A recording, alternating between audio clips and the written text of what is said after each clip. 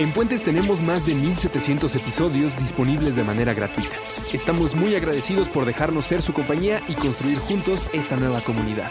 Los invitamos a interactuar en Versi, una red social donde estaremos publicando contenido exclusivo sobre los programas y personas que hacemos puentes.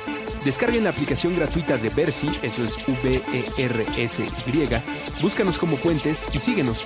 Conozcámonos a través de Versi. Chiste del sofá. Mitología amarilla. Con Andrés Vargas Rusco.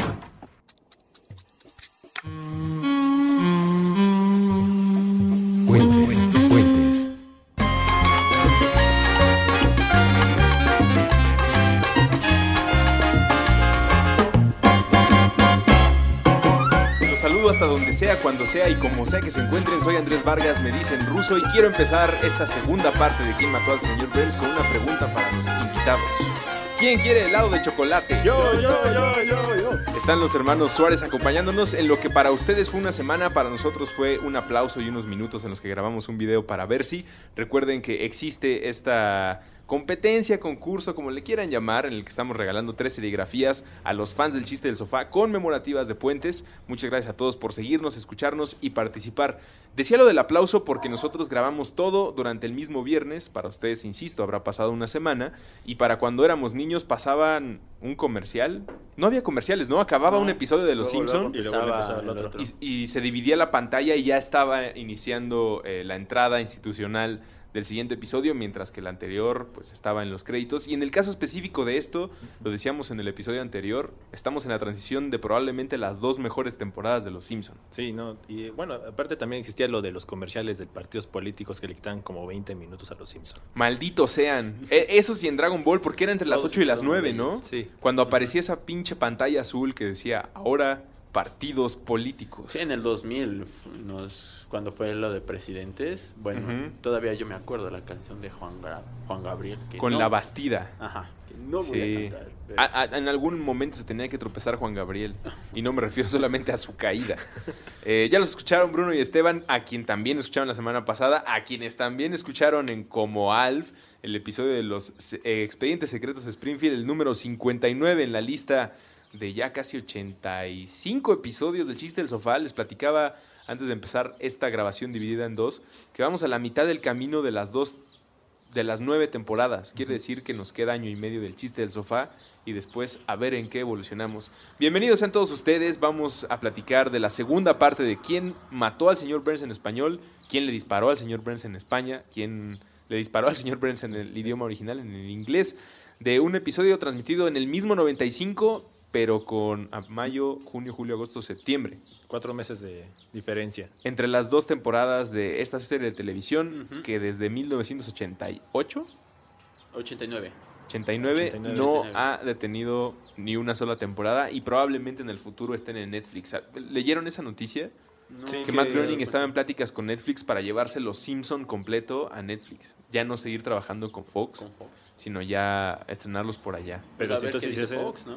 Y a ver, ¿no? Y si pasa eso, a ver si son buenas ideas mejores en los capítulos, porque... Sí. Ah, es una cosa generacional. Lo hemos platicado Bueno, sí. con ustedes por lo menos una vez cuando grabamos el de secretos, eh, expedientes secretos de Springfield, perdonen, y cada vez lo asimilo más. Somos nosotros. Este es un punto de referencia de nuestra generación. Si fuéramos viajeros espaciales, este es un pulsar de quiénes somos y qué nos tocó ver, o ahora de qué nos reímos. Lo platicábamos en el episodio anterior de nuestros políticos, nuestros homicidas, nuestros populistas, nuestros comunistas, todos están relacionados con los Simpson y así vemos el mundo los invertidos y ustedes que nos hacen favor de acompañarnos en la misa del chiste del sofá. Pues sin más preámbulo, le voy a dar play porque miren que en el otro nos tardamos unos minutos más y no, no es que no desee hacer más compañía, sino que hay demasiadas cosas que platicar. Por ejemplo, de la entrada del primer episodio de la temporada 7, en donde el chiste del sofá pues hacía referencia, también el de la pizarra, ¿no? En ¿Me la pizarra dicho? dice, no debo de quejarme de la solución de los problemas. Y ahora aparecen ahí como si fueran retratados para la cárcel. Ajá, como cuando están tratando de ficharte, le dicen en los MPs. El whisky beodo que dice fortificado y puede provocar expulsión del contenido del estómago. con el que se, grandes comillas, se despierta Springfield, porque también esta es parte de la burla a Dallas y esta clase de telenovelas gringas en las que cuando ya no sabían a dónde moverse lo resolvían con un sueño o en el caso de Smithers una fantasía que lo mismo le guiñaba a Meteoro que a otro programa de televisión gringo que pues, tenía una temática diferente donde el objetivo es a quemar llanta. A quemar llanta que, que patrulla todo, eh, patrulla toda velocidad A color. Eh, de 1965, Patrulla de la Velocidad a todo color era el nombre de lo que había soñado Smithers, pues deseando que el señor Burns no estuviera muerto hasta este minuto del episodio en el que vemos cómo ya se convirtió en un alcohólico Y que vomita las colillas, de, bueno, eructa las colillas de cigarro. de, pues, deleznable el, el señor Smithers. Y de inmediato aparece mi probablemente chiste favorito del episodio porque desde niño me daba mucha risa. Cada día docenas de personas en Springfield son asesinadas, pero ninguna había importado hasta hoy. El señor Burns, quien pasó de estar muerto, A estar vivo. Vivo, que primero lo declaran muerto en el hospital de veteranos Sí. y luego lo mandan al hospital general y es cuando ya lo de- pasa su condición de muerto a vivo. Y agarran al jefe Gorgory como siempre, ¿no? Comiendo. se comiendo y as- aceptando que sí están trabajando en el caso y tienen a dos, A dos sospechosos, sospechosos, que que, es- resultan ser pues, los dos. Más involucrados, ¿no? Más Sí. ¿Cuál es la participación de Huesos? Pues, no, Ah. estaba atrás de... Él está traba- No, y que desenterró la pistola, no con la que le dispararon, pero pues participó. Ah, bueno, no, porque ni fue No, Huesos. de- Él estaba atrás, recuerda que tiene las piernas rotas. Y fue el abuelo que nada más la desenterró por, pues, porque es senil. Eh, y Lisa haciendo un repaso, se dieron cuenta, no creo que haya sido para rellenar espacios, pero hay muchos flashbacks al último episodio de la temporada 6, que es la primera parte de quien le disparó al señor Burns, y Lisa hace referencia, sin hacer los flashes, a su familia sin señalarse a ella misma. Y peleando con Bart, de quién pudo haber matado al señor Burns, con Homero siendo un buen padre, cuando les dice, para mí los dos son potenciales homicidas. Eh, La letrina. La letrina si que el abuelo, almacén, ¿no? ay, mi sombrero, voy a la letrina. No tenemos letrina. Y el abuelo siempre act- actúa como si fuera el culpable, ¿no? Cuando realmente no tiene nada que ver. Pero todos, ¿no? Porque cuando dicen que están buscando a Smithers, todos dicen, sí, debió haber sido Smithers. Es decir, aunque no son culpables, tienen miedo porque ya era tanta la psicosis y el odio contra el señor Burns, pues que el será muy fácil. Era un buen chivo expiatorio. Sí. Y Smithers eh, descubre que sí disparó un arma. Está ¿no? bien genial Sí. el de la botarga de los mofles. La venta de mofles. Que así son todas las personas que, que pasan con su...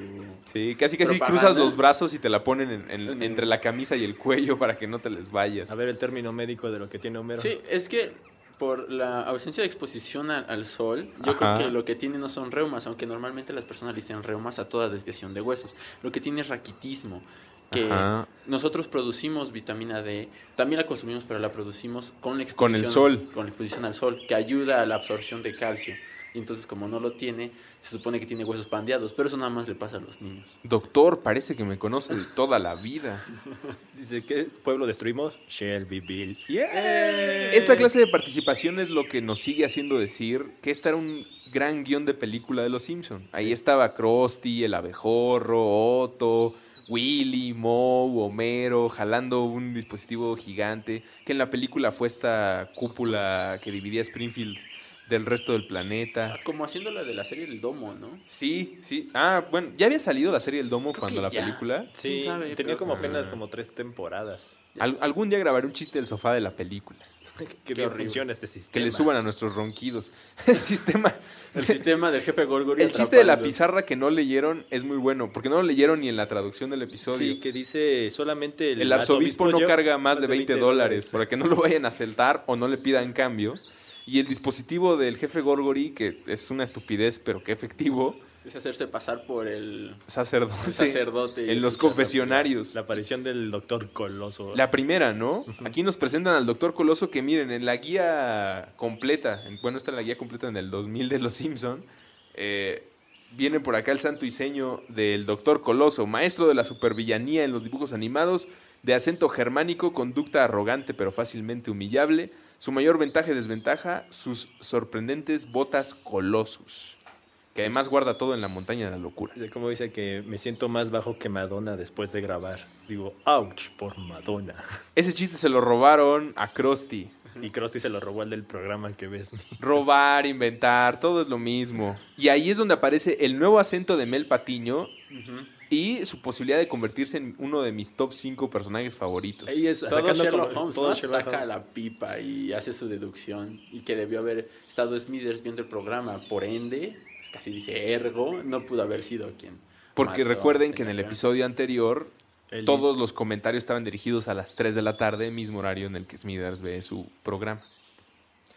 Soy, a ver si se acuerdan cuál es el nombre completo de Mel Patiño. Ay, no, no más me acuerdo de Herschel Krustowski. Dice, por- yo- soy Melvin Van Hunt Ah. y este es mi socio Herschel Krustowski. Y solo llega a saludar. Hola, hola. Y van a salvar a Cástulo Smithers. Pero el jefe Gorgori deja escapar al doctor Coloso. y Dice, "Ya Pero no vuelvas". vayas a la montaña de la locura. Ay, tengo todas mis cosas. Y patea como el chavo del 8 cuando se enoja. Eh, resulta que Smithers sí le disparó a alguien, a un viejo inocente. Bueno, a un viejo, a uno inocente. Fue el pobre de Gaspar, que estaba tratando de alinearlo como viejito decente al cualquier borracho. Sí, La- las, las eras para caminar derecho. y le dispara en su pierna de caoba, bueno, en su pata de palo. Ajá, pero es que bueno, aquí yo le digo a mi hermano que aquí es una cosa rara porque luego cuando hay los sustitutos de la escuela, Gaspar trae sandalias Sí, cierto. y dice, quien vea mis sandalias, hay tabla. Entonces aquí, ¿cómo es posible que tenga una pata Tal vez de tenga palo? una pata de palo con un pie amarillo. Ajá, igual se lo pinta. Igual. Y si no lo perdió en el transcurso. Lo bueno es que ya lo había perdido porque si no hubiera sido más sangriento y, y feo para con Gaspar, que pues, a pesar del disparo no denunció. ¿no? Aún así fueron a visitar el, El asilo. el asilo. Ya reconstruido, parece. Sí, es cierto, eso tampoco nos lo explicaron. El, Sí. el dinero de los impuestos springfieldianos Se movió rápido. se movió rápido para ayudar a los adultos mayores que viven en la desgracia. Dice, ¿mi pata de qué? Y el jefe Gorgory sigue sin moverse mucho. De hecho, a, Le a preguntan, ¿no? cualquier persona que tiene cerca le pregunta, ¿sabe quién disparó esta bala? Es que andamos con la ignomia. Sí, todo esto mientras empieza el, el instinto de Lisa por, por convertirse en la que averigüe quién es el que disparó. Y Ken Brockman señalando que, pues, si, ya no, si no fue Smithers, tendría que encontrar a alguien tan sanguinario como Smithers. Es decir, Smithers. no corta la relación con la violencia. Eh, y Lisa alza la mano para averiguar o ponerse las pilas. Que eso de inmediato la descarta, ¿no? De, pues, tú no pu- O sí, Pues ha- hay, hay capítulos en las series nuevas de Estados Unidos en donde el, el mero malo trata de pasarse por bueno siempre hasta que lo cachan. Pudo haber sido esa una de las soluciones. Eh, ¿qué, qué más mencionan? Ah, ¿Aquí el abuelo en qué va? Eh, Que él no pensaba que podía de- derribar un avión de la Segunda Guerra Mundial y el fin de semana pasado se dio cuenta que sí, es podía. cierto. Sin explicar cómo. Entonces ahí cita ella a una escritora de misterio este, y entonces le dice, Marsh, mejor investiga quién es el que puso lodo en la nevera. ¿Quién quiere helado de chocolate? Yo, yo, yo. Eh, las travesuras de Bart.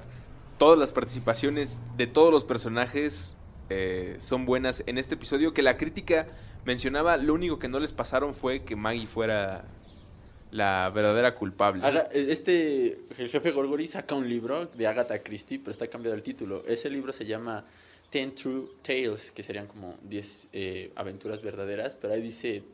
Ten tried. Ajá, que son como 10 aventuras trilladas. O también el de los 10 negritos. Sí, es cierto. También encontré uno que se llamaba The Ten Little Niggers. Igual trataron de combinar los dos. Tal vez. para hacer el chiste de lo tonto que es el jefe Gorgori y de cómo tiene que sacar de un libro de ficción la palabra mo- móvil. Móvil. Móvil y motivo, ¿no? Sí, sí. Que es la que Lisa trata de corregir de, inme- de inmediato. Bueno, más bien señalar. Sí, y Tuvo aquí- que ser por dinero. Aquí vuelven a pasar dos pistas otra vez. O sea, en esa parte vuelven a repasar como dos pistas. Por ejemplo, el hecho de la licencia de Moe y la pantalla que dice Paradon Signer, que es cuando es a las 3 de la tarde. y que- Porque Lisa está exonerando a su familia. Ajá, y también exonerando a Tito Puente, Puente. ¿no? No Ajá, lo sí. muestra y es Que- lo primero que piensa. que de alguna manera racista Ajá. contra latina, pues Gorgori sospecha de alguien dice, que no "Ese habla bien el idioma". Mambo Rambo, no sé qué. Y también argumentando a- al latino, el, el lugar se llama Ches Guevara. Eh, y llegan para descubrir que Tito Puente sí hizo su venganza, pero a través de un mambo muy pegajoso, que mucho tiempo fue mi sonido de celular. Sí, ¿Por qué llenarle el corazón de plomo si puedo quemarle el alma con un rico mambo? Uno de los cantantes de Tito Puentes fue el encargado de Sí. echar la letra, pero yo no sabía que no fue escrito por Tito ni por el cantante. Se lo pasaron directo Bill Oakley y John Weinstein. Y él nada más compuso la música. Y casi gana un. Emmy esa. Sí, de hecho estuvo nominado a un Emmy. Esa canción. Estos dos episodios juntos debieron haber ganado varios premios. Por lo que estaba pasando con lo del internet que decíamos que hubo un concurso para que la gente pudiera votar de, de quién, bueno, de tratar de determinar quién le disparó al señor Burns. Hasta esta idea de en dos temporadas que ya lo había hecho Dallas, pero no en una caricatura y mucho menos en algo que estaba a punto de explotar. Aquí los Simpsons ya estaban posicionados, pero lo que pasó en las 7 pues, fue fenómeno mundial. Y también fue coyuntural, porque lo de Dallas también fue en la primavera o en el verano de 1995, cuando salió, salieron esos dos capítulos. todo estaba mapeado. Ya No le cantan que a la que tiene el corazón de perro. Ajá. Pero como luego una parte que dice que ojalá te quemes en el... que te frías en el Que infierno. te frías en el infierno, viejo desgraciado. Sí, una cosa así. La investigación sigue ahora con el profesor Skinner debido a las pistas que le dio Lisa. Desgraciadamente la historia de Smithers es probablemente la más triste y patética de todos los Sí, que participan en el episodio. Sí. Terminó, iba a buscar al señor Burns y entonces fui al baño a ponerme el disfraz. Pero se equivocó y usó el Sí, maquillaje sí. de su mamá. ma- Y se parece. Se parece muchísimo. Ay, disculpe, señora. Inspector Archundia. Oh, Skinner. por Dios. es cuando se escucha el balazo. Hay un mensaje ahí pues, Sí. medio raro cuando Skinner le dice, eso fue lo que pasó. Cualquier otra cosa que les diga no es, no es verdad. Sí, esa parte. Bajos instintos. Sí, el, el- el homenaje a la película de Sharon Stone que no me dejó ver mi mamá y la vi hace dos años. O sea, nunca la había visto y entendí perfectamente por qué no me dejaron. Eh, pues homenajeando el cruce de piernas de Sharon Stone en el que pone a sudar a todos los que la están investigando Pero por ya asesinato. a Willy de que no lo vuelva a hacer. Cortando cartucho, ¿no? Se escucha el, el giro del barril de la pistola para que no vuelva a cruzar piernas. Esta también compite junto con Skinner de las historias más patéticas de los Sí, sospechosos. sí, sí, que sí. Porque Moe ni siquiera lo pone en un interrogatorio como a los anteriores, de inmediato al detector de mentiras. Sí, y dice que va a cenar con amigos, ¿no? Dice, no, bueno, sí, pero no le disparé. ten, ah, Tengo no, una cita, tengo una cita. Ten, Bueno, una reunión. ten, Cena con Fred. ten, Cena solo. ten, Va a ver tele solo. ten. Ver un catálogo de lencería Eh. del supermercado. Ya quítenme eso, no me lo merezco. Eh. Gran uso del detector de mentiras de dos. El otro es Homero. Ajá, igual con ¿Entendió? Sí. Eh, el abuelo ahora demuestra que pudo haber sido porque él fue el que desenterró la pistola. En el episodio anterior lo único que vemos es la caja ahí desenterrada, no sabemos quién fue. Y acá en un intercambio de malos adjetivos con su nuera, eh, parece que le está diciendo cómo te extraño mi chiquita. Y hasta Marsh siente calosfríos, ¿no? Aquí te das cuenta que al único que no cuestionan o investigan es a Barney. O sea, nada más fue Que a- también era una pista. Y que de hecho leía en Simpson Archive, era uno de los candidatos a que sí le disparara para convertir su trama a que fuera un personaje que llegó de la cantina a la cárcel. Qué bueno que no fue así. Ahí la voz de la que, bueno, la que da la voz en inglés a Lisa, lo grabó y lo grabaron todo al revés y ya nada más lo reproducieron para que se escuchara así. Por eso es que como se oye así de jefe, God, ¿Vieron Twin God", Peaks?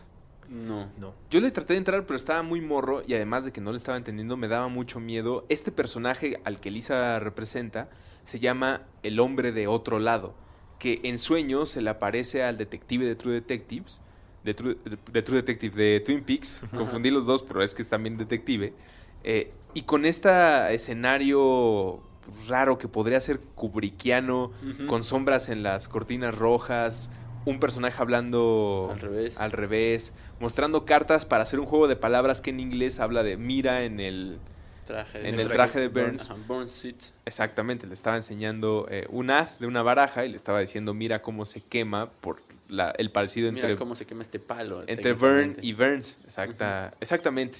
Después vemos cómo eh, los de pruebas de DNA en, No en es Estados Unidos trabajan como los que te dan las credenciales y papeles en las delegaciones en México. Sí, realmente los estudios de DNA eh, son muchísimo más, más, más tardados. Y más en el 95. Ujú. Está el caso de O.J. Simpson, que de hecho aquí le hacen un par de guiños cuando Bart dicen, nunca pasará una prueba de DNA en un juicio, ¿no? Que era Corre, lo que se papá. decía.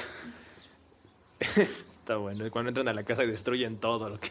Sí, como un equipo de SWAT y Homero no estaba oponiéndose, estaba parado junto a Marsh, pudieron agarrarlo en cualquier momento hasta que lo detienen. Y es pues, un momento cruel porque es la primera vez que acusan a Homero de homicidio y se lo llevan de la casa.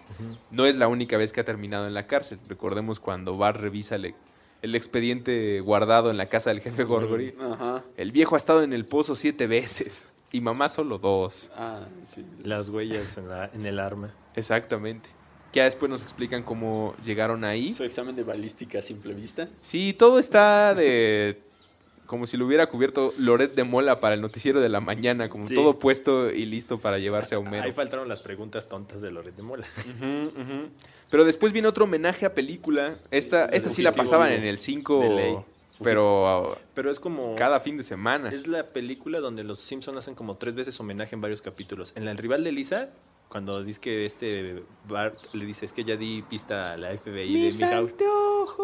Esa, esa, en esa parte está ese homenaje y hay otro capítulo de la nueva temporada donde vuelven a hacerle homenaje al fugitivo. Que en la película es Tommy Lee Jones persiguiendo a Ajá. Wesley Snipes. No, a, Henry- a Harrison Ford. A Harrison Ford, Sí, cierto. Hay otra Ford. donde persiguen a Wesley Snipes, pero no, no es esa. Y yo no sabía, eso me lo contaba mi mamá, que este actor, que- Tommy Lee Jones, era el fugitivo en la serie de televisión. Sí. Ah, Ajá, por eso lo escogieron ahí. Ahí le da... ¿Por qué demonios el doctor Nick Rivera está trabajando atendiendo al señor Burns? ¿Por qué demonios el doctor Nick Rivera trabaja? No, no sabe nada. Bueno, sí, para empezar, no, no es alguien a que quieres atendiéndote de nada. Pero el señor Burns que tiene un bufete de abogados Bien de- pagado. de 16 personas porque tiene al doctor Nick hablándole y, y checándole los signos vitales. Ahí estaba viendo este, lo que le pasó señor, según el señor Burns, se le llama afasia. Estaba investigando. Bueno, es que salió por lo de después de lo de Odor de Game of Thrones. Ajá. Publicaron en Pictoline así una de por qué Odor solamente puede decir Odor. Entonces dicen que es un trauma que se sufre en el cerebro o es debido a un choque o a un golpe y que el cerebro lo que único que hace es repetir una palabra. A veces son frases o una palabra y la usan para completar palabras, o sea, decir Sí, es que hay dos regiones en el cerebro, una que se llama el área de Broca, que es la que articula las palabras, y otra área, que es la de Wernicke, que es la que te permite entender lo que te están diciendo y entender lo que vas a decir. Entonces, si hay alguna interrupción en esas señales o en esas dos áreas, tú puedes entender lo que te están diciendo, pero ya no puedes hablar bien.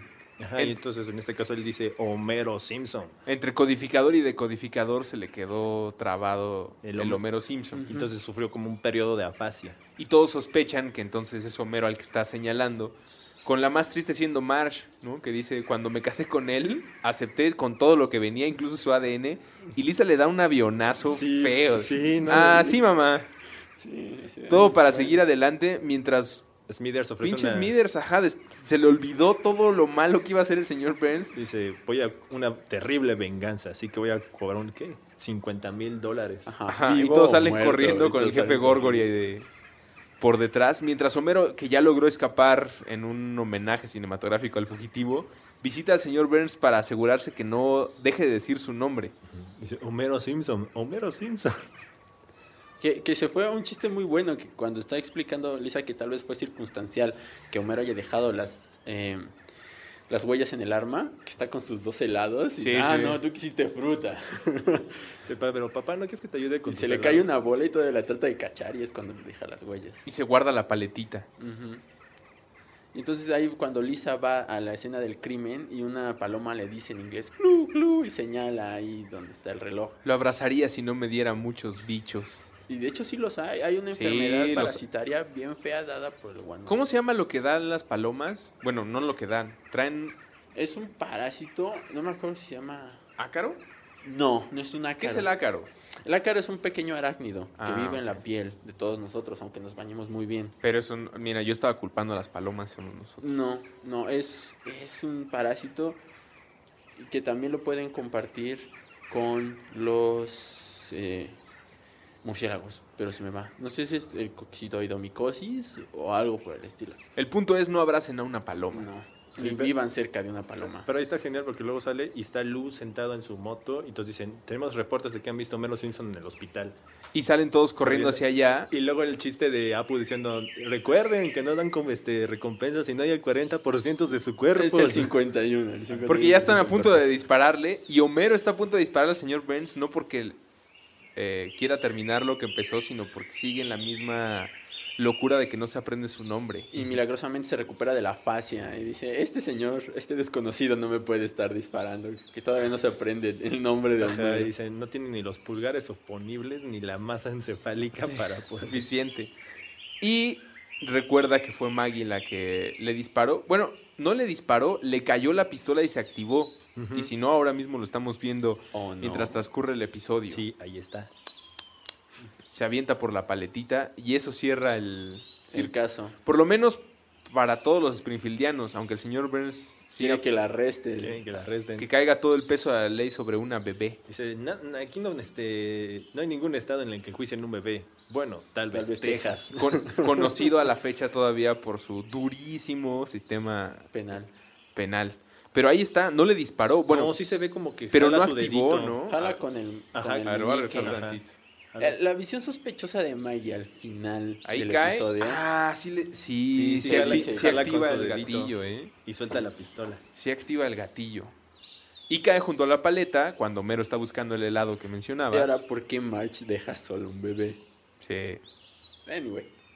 Así fue como se descubre el misterio. Bueno, Y él escribe con sus últimas palabras WS, que al revés podían decir Maggie Simpson. Dice, no, con mis últimas fuerzas me comí todas mis joyas. No confío en los paramédicos.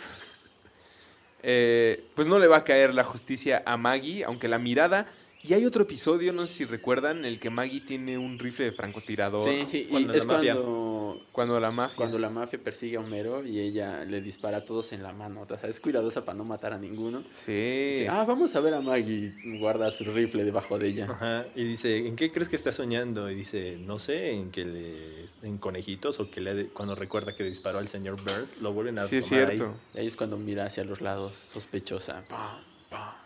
Sí, y entonces se supone que aquí los escritores lo que querían hacer más que nada, después de que uno de ellos mencionó que quería a Maggie como culpable del, del intento de homicidio a Burns, dijeron, no vamos a hacer mejor que no sea ella la culpable, sino que ella sea como que fue intención, no fue, fue sin querer. O sea, Sí, como dejando un saldo blanco, no vamos a alterar la historia de ningún personaje, simplemente fue un accidente, una situación inesperada. Pero en el, ep- el sens- sensacional episodio número 138 nos Ujú. presentan cuáles hubieran sido las otras los opciones. finales alternativos que nunca fueron, bueno, que no fueron tan buenos porque de hecho solamente los usaron para despistar a los productores, que es este Smithers disparándole, Skinner disparándole y Tito Puente ¿Tito Puente? Sí, Sí, Tito. Puente también sale solo en la animación, en la animación. porque no hay mo- motivo suficiente. No creo que Tito Puente... Bueno, es que los petrodólares pueden convertir a las personas en otras en otros individuos. Pero pues era el menos afectado, ¿no? Sí, sí. Sí, el único que no tenía que quedarse en Springfield a seguir sufriendo a todos estos personajes. Quitó la escuela de Tito. Y golpea. a su- El chiste del ay caramba de Tito y de hecho su personalidad, no sé si conozcan a este comediante estadounidense llamado Fred Armisen. Él No. salía en Saturday Night Live y ahora tiene una serie que se llama Documentary Now, donde hace parodias de documentales.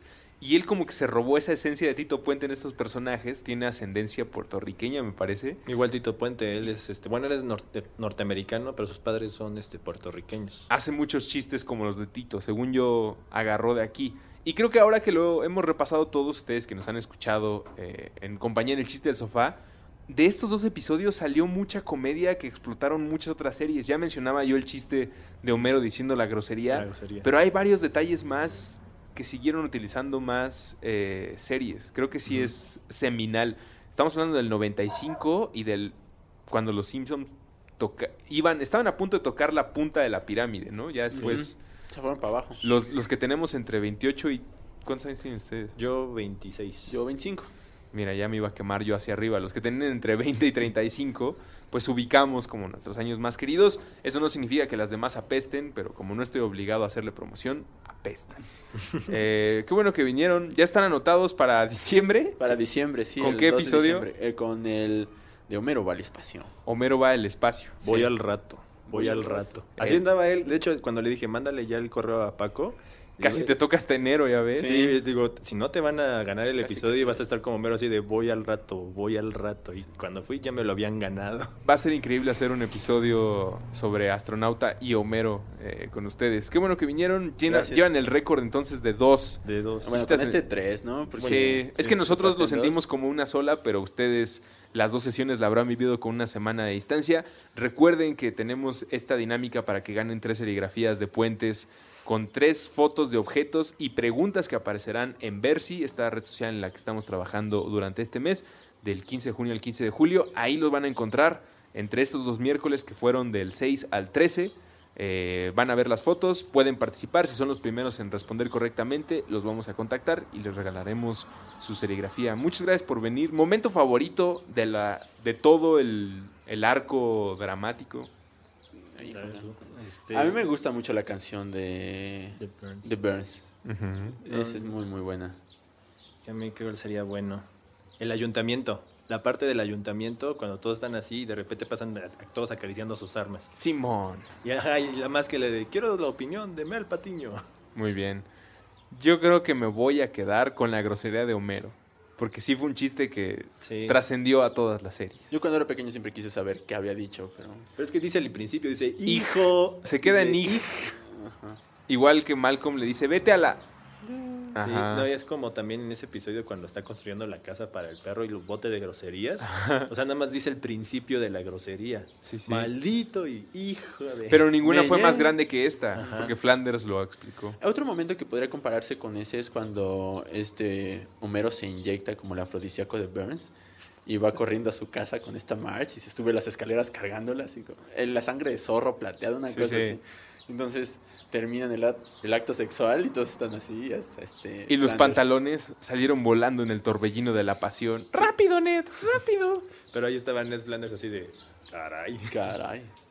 Muy bien, muchachos. Gracias por venir. Gracias a ti por Nos vemos. otra vez aceptarnos, Ruso. Nos vemos en diciembre. Nos vemos en seis, seis meses, ¿no? Una cosa así. Sí, Cinco, seis ¿no? meses. Una disculpa a todos los que están formados, pues ni modo. eh, no, no sé qué más decirles, así que voy por mi sombrero y voy a la letrina.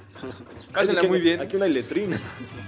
Pásenla muy bien. Yo soy Andrés Vargas, me dicen ruso. Gracias por venir. Vamos a poner. ¿Quieren decir sus arrobas? Twitter. Eh, arroba Nuno Holmes. Ajá. Y arroba Isvan Suárez, es como este monte de Mexicano. Volveremos a ponerlo las ligas completas en la bitácora de este y los demás episodios del Chiste del Sofá, además de los programas de Puentes en puentes.me. Yo soy Andrés Vargas, me dicen ruso. Pásenla muy bien.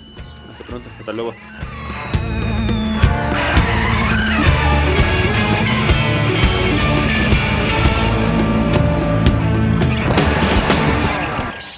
El chiste del sofá. Mitología amarilla. Con Andrés Vargas Rusco.